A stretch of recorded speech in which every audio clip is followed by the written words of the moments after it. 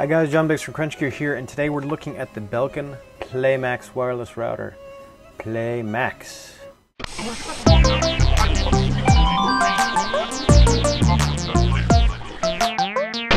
Uh, so what makes this router different? Well, for starters, it's amazingly easy to set up.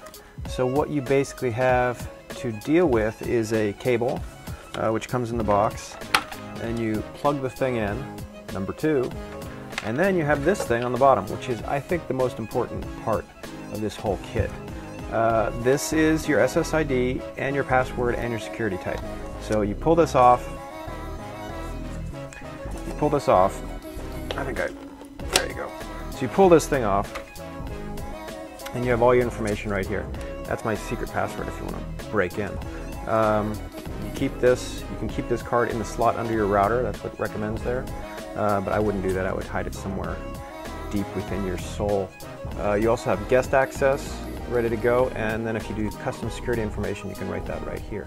This is a great time saver. If I send this router to my grandmother, for example, and she's not computer savvy, all I need to do is say, plug this in, look at this little card on the bottom, if you need to connect your laptop or whatever, and you're, you're golden, really.